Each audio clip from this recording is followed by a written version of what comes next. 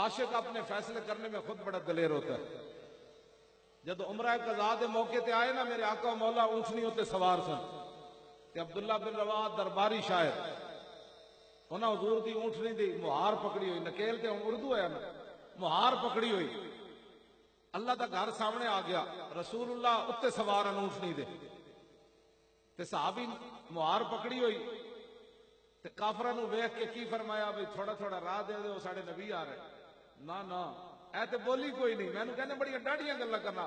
میں کہا میں تے کچھ بھی نہیں کردا۔ اللہ دا گھر سامنے رحمت للعالمین محبوب اٹھو تے سوار۔ تے حضرت عبداللہ بن رواد دیکھا نا، پیچھے وہی کھڑے بندے جنہیں پچھلے سال حضور نو نہیں آن دیتا۔ آپ نے فرمایا، خلو بن الکفار عن سبیلی، الیوم ندربکم علی تنزیلی، ضربا یزیل الحام مکیلی ویزہل الخلیل عن خلیلی۔ فرمایا، ہٹ جاؤ اے کافر دے پترو، حضور آ رہے جی؟ ہٹ جاؤ اے کافر دے پترو، حضور آ رہے آج جنہیں حضور دا راستہ روکیا، مڈو کر کے جناب گردن کٹ دیاں گے۔ آ یار نو یار دی خبر نہیں رہنی، ہٹ جاؤ۔ میں جب ناموس رسالت کی بات آئے نا، تو ایسی بات ہے کہتے جی امن سے بات کرو۔ میں آخر رب دا گھر سامنے ہوئے، حضور اٹھنی تو سوار ہو من تے صحابی اپنے آپ تو باہر ہو جان۔ پوچھے، پوچھ کے محبت نہیں ہوندی، یہ نہیں پوچھا حضور کیوں جائے شیر پڑا امن والے پڑا یا تلوار والے پڑا اقبال کہندا، عقل محکم، ماذا ساسے چونو چند؟ عشق اریاں آز لباسے چونو چند؟ اقبال کہتا ہے کہ عقل سوچتی ہے، کل کیا ہوگا، پرسوں کیا ہوگا، میرا کیا بنے گا، میرے گھر کا کیا بنے گا؟ اقبال کہتا ہے، عاشق صرف یہ دیکھتا ہے کہ میرے نبی کی شان اور عظمت کس کے اندر ہے؟ اے لوگ، اے عقل دا کام ہے۔ کل پرسوں تے نفع نقصان نو سوچ کے گل کرنا۔ صحابی حضور کو پوچھا نہیں کہ گل حضور کیوں جی کرا؟ اللہ دا گھر سامنے امن دی گل کرا؟ فرمایا نہیں، ہٹ جاؤ اے حضور آ رہے جب آپ نے ایک گل کی تھی نا، تے حضرت عمر اگے آ گیا۔ حضرت عمر فر... نو پتہ سی بھائی، آج حضور قریباً تے بعد جنا چونکہ مگر کرنی گلاں کہ چونکہ حضور بڑے دور سوار تھے اوپر تو عبداللہ بن رواحہ جذبات سے باہر آ گئے تھے، اگر حضور سن لیتے تو حضور نے روک دینا تھا۔ حضرت عمر اگے آئے فرمایا ابن رواحہ، بین یدی رسول اللہ وفی حرم اللہ۔ فرمایا، عبداللہ بن رواحہ اور اللہ کے سامنے، اللہ کے گھر کے سامنے یہ باتیں کرتا ہے اور حضور کے سامنے یہ باتیں کرتا ہے، تمہیں پتہ نہیں ہے؟ کیا بات کر رہے ہو گردنے اتارنے کی؟ اللہ کے گھر پہ تو میرے آقا نے کی فرمایا؟ خلے آن عمر۔ فرمایا، عمر، عبداللہ بن رواحہ کا راستہ چھوڑ دے۔ حضور خود جاتے ہیں، جب میری بات آئے تو بات ایسے کر کے کی جائے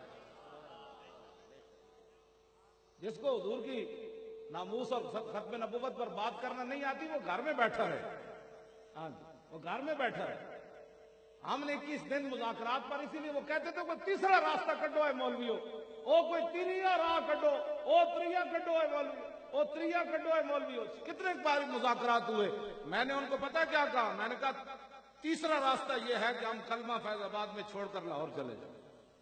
تیسرا راہ یہ ہے کہ حضور حالات نہیں ٹھیک۔ جانے ہمیں بڑی جو ہے نا قیمتی ہیں۔ میرے پتر بھی آئے ہوئے میرے برا بھی آئے ہوئے میرے سارے بچے آئے ہوئے کہ میں انہوں کی جان بچا کے لاہور جا رہا ہوں، کلمہ میں نہیں پڑھ سکتا۔ میں تیسرا راستہ یہ ہے، باقی رہ گیا یہ مسئلہ۔ کہ تم نے بارہ بجے آپریشن کرنا ہے۔ میں نے کہا ان کو کہو تم نو بجے شروع کرو۔ مسلمانے کے مرگ ازوہ بلرزم جہاں کر دیدام بورا نہ دیدام۔ درویش لاہوری، کلندر لاہوری روندے ہوئے دنیا تو گیا۔ کہنے لگا، میں نے جو مسلمان نظر نہیں آیا۔ جنہوں موت دیکھ کے پیچھے ہٹی ہوئے۔ اج اقبال زندہ ہوندا نا، میں انہوں جا کے کہنا سی، میں کہا آئے فیض آباد دیکھ دیکھ موت پیچھے ہٹی ہاں جی موت پیچھے دیکھ کے نسی موت موت نسی نہیں۔ چالی بندے دے کے ہزارہ بندے کیویں نسے؟ موت ہی تے نسی۔ ورنہ جنہاں کول شاہی کوئی نہیں سی، انہاں کول سارا کچھ سی۔ میں کہا انہاں نو کی ہویا؟ انہاں کہ پتہ نہیں کی ہویا؟ میں کہا گل وچ ہو رہی کی ہویا؟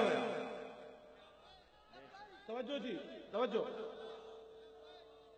میرا دل جڑا نا، جتنے دیر آپریشن ہوندا رہا میرا دل ادھر ہی سی۔ یا رسول اللہ، اسی جو بھی مرضی ہو جائے، جل جائیے۔ ساڑیاں لاشاں بھی ہے ساڑے رشتہ داروں نہ دین سانو دفنان بھی نہیں، جلا کے تھے رات ساڑی نالے چھٹ دے من۔ حضور، اے گل کوئی نہیں۔ گل اتنی ہے لوگا کہنا ہے، بڑا عاشق رسول سی۔ لاہوروں چلیا، کہندا سی فرشتے آ جانا ہے۔ حضور نے کہنا ہے، فرشتے تو کوئی نہ آئے۔ حضور ختم نبوت کا نام لین لگے حضور تانے تاری امت نو لبنے آ کے فرشتے کوئی نہیں آندے ہوندے، حضور کی عزت واسطے نکلو۔ میں کہ یا رسول اللہ، مدد ضرور ہونی چاہیے ساڈی۔ اے میرا دل کہندا سی، زبانی میں نعرے لا رہے سی، لیکن واللہ وہ سن لیں گے، فریاد کو پہنچیں گے۔ اتنا بھی تو ہو، آہ جو کرے کوئی دل سے۔ دل میرا، میں کچھ بھی نہیں ویکھیا اتر دیا لوگ یہ کہندے میں اتر دیا ایک صاحب کشف آدمی، پیرن انہیں میں دسیا بھائی تو ٹرالے دے اتنے نا یارویں والے پیران دے تخت بچھائے ہوئے ہاں, جی۔ ہاں یہ انہوں نے دسیا۔ انہوں نے کہا، میں اپنی اکھا نال ویکھیا۔ میں کچھ نہیں ویکھیا، میں تے صرف اتنے نعرے لائے۔ تے میں شیل دے دھوئے اندر کھا دے میں آخا اندر روٹی بھی کھا دی آج انہوں دی خاطر دھوئے بھی تو کھائی ہے۔ کہندے جی میں غلامی رسول، میں موت بھی قبول ہے۔ میں آخا جی شیل دے دھوئے نال موت آندی تو کتنی آسانی۔ مرنا تو گولی نال بھی ہے انہوں نے آن تو پہلے ہی نہ مر جائیے۔ انہوں آن دے جی گولی مارنی پہ ایس نو گولی مارو۔ اے ایک بندہ ہے جیڑا سارے نو بٹھائی پھردا ورنہ کدوں دا معاہدہ ہو جانا سی۔ اے بندہ ہے، انہاں میں کہ میں نو گولی تے ویسے مار دینی۔ تے کم از کم دھوئیں نال ہی مر جائیے۔ پہلے ہی مرا ہوں گا تو گولی تے نہیں مارن گے۔ لیکن کی بات ہے؟ کیوں جی؟ دھواں دھواں اندر جا کے جناب کافور بن جاتا خوشبو بن جاتا توجہ توجہ۔ توجہ جی توجہ۔ تھی گل میری سنو۔ بارہ ہزار شیل کھا دے۔ لوگ کہتے جی پیسے لے۔ میں آ کے جی جڑے پیسے لینے انہوں بارہ ہزار شیل کا دھواں کھا۔ یہ پیسے لینے ہوتے تو پھر کمال والی بات ہے، بارہ ہزار شیل کا دھواں کھانا تھی جنرل صاحب قبلہ نو ہی وضاحت دینی پئی، جنرل صاحب نے باجوہ صاحب نے جا کے سینٹ وضاحت دینی پئی۔ انہاں کہو، اسی انہاں مولویوں نہیں بھیجا۔ جی میں بھیجے ہوئے تو میں استعفی دے دیا جنرل صاحب نے دسیا چلیا جس انہاں دیا مہاراں ساڈے ہاتھ چ ہوندیاں تے اسی جیلم روک لینا سی۔ ہاں جنرل صاحب نو پتہ ہے، میں جنرل صاحب ٹرمپ نو میں ہی جواب دیتا ہے۔ ہاں مودی دے جنرل نو بھی میں ہی جواب دے سکنا۔ میں باجوہ صاحب نے کہا، لاہور بھی کیا کراچی بھی کیا میں کہا، قبلہ، اور تسی انہاں نو کہو ٹرمپ نو کہ تو کی آنا ہے، پترا، میں آ گیا